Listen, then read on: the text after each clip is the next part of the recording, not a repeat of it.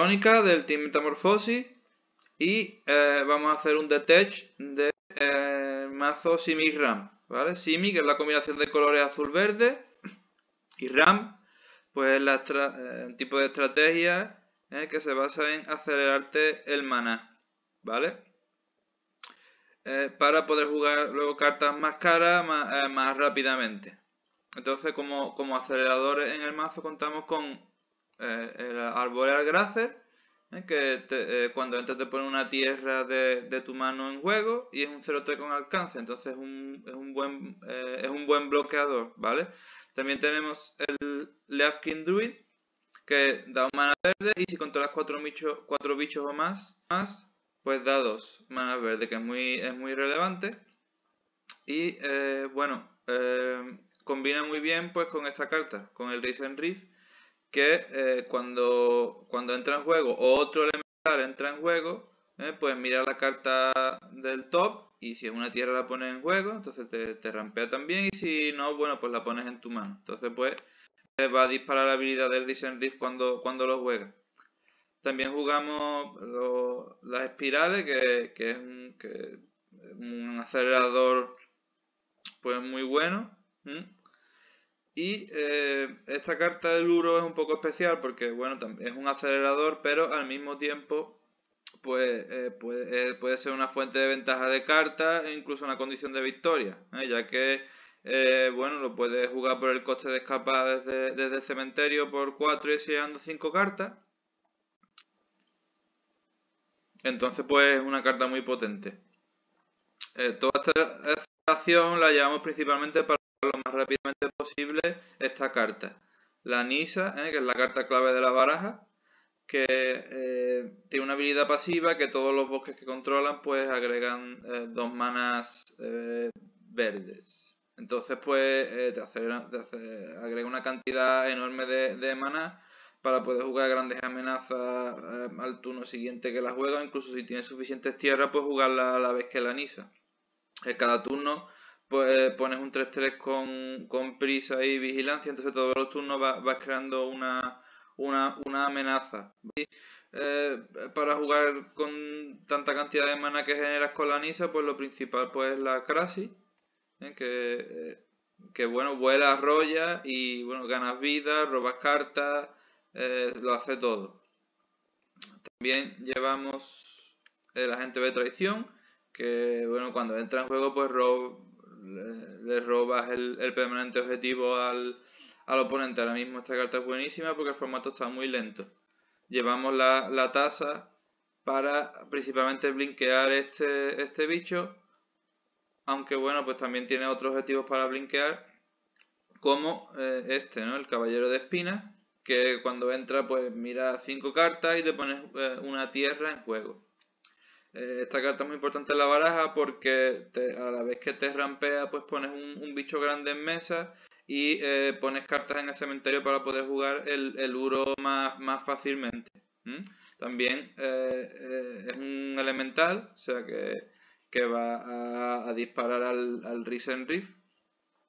Y, además, cuando muera, recuperas una, carta del cementerio y la pones en el top. Entonces es muy importante que te puedes recuperar pues una Nisa que, haya que haya muerto o una Crasi para volver a poder jugar una Crasi enorme y tener una gran ventaja de cartas.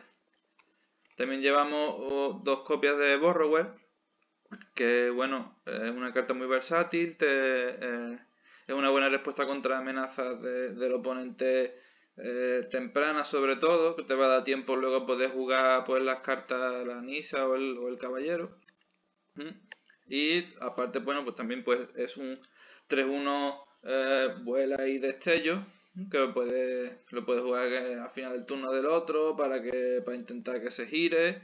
Y bueno también ayuda a que la, tasa tenga tenga devoción vale porque bueno la tasa en mesa si tiene suficiente mana pues puede controlar la mesa ya que pagando cuatro giras un, un bicho. Y si ya eres capaz de de transformar la tasa en una criatura, pues ya va a ser demasiado, demasiado potente. Aquí Eh, tenemos también el, banquillo, que llevo, bueno, pues cuatro Atergus contra Monorre, ahora mismo en el formato es una carta fundamental, contra el, Mirror, ¿eh? es, una carta muy, muy buena también. Dos copias de Disdainful Stroke, que es eh, un counter muy versátil porque también contra esta criatura, criaturas grandes. Eh, ahora mismo hay muchísimos objetivos jugosos en el formato para contrarrestar con, con, esta carta, que contrarresta desde un Fire of Invention, ¿eh? Pues contrarresta una Nisa, contrarresta pues, incluso eh, criaturas muy grandes, el, los caballeros que se están jugando, en fin.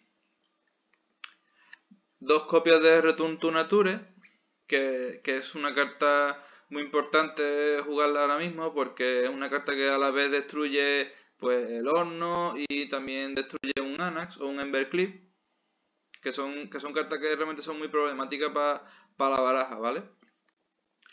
Eh, tres copias de Mystical Dispute, que es un counter muy bueno contra hechizos azules. Dos copias de Love Truth Beast, que es, una carta que, te sirve para, frenar a los más agresivos en los, primeros turnos y dos copias de Ceratops, que es una, carta que realmente pues, es muy buena contra, contra control, contra mazos flash que pueden ser problemáticos, que tienen muchos muchos contrahechizos y nosotros jugamos cartas caras, pero el Cerato no, lo puede, no puede ser contrarrestado. Y bueno, y lo podemos jugar rápidamente con, la aceleración que, tiene el mazo, ¿vale? Eh, la base de mana, nada de, especial, más significativo pues, pues son los castillos, el castillo azul que bueno que te da, te da la posibilidad de hacer Scry 2, que es muy importante, y eh, los castillos verdes, que te, que te dan 6, 6 manas pagando 4 para bichos, entonces eh, te ayudan a con el caballero de espinas, por ejemplo, te ayudan a, a poder jugar caballero y luego otro bicho a, la vez del caballero. Y, bueno, te ayuda también a, poder jugar una hidra un, poquito, un poquito más grande, ¿vale? Bueno, también es importante comentar la Fablet Passage, porque es, es, una, es una tierra que se sacrifica y te da cartas en el cementerio pues para poder jugar el Uro, ¿vale? Bueno, pues este, este ha sido el de Tech. Eh, espero que, os haya gustado. Ya sabéis, eh, suscribiros, comentar, campanita. ¿eh? Y, y, intentar llevar esta situación del confinamiento lo, lo mejor posible. ¿Vale? Venga, un, un abrazo a todos y nos vemos en el próximo vídeo. Hasta luego.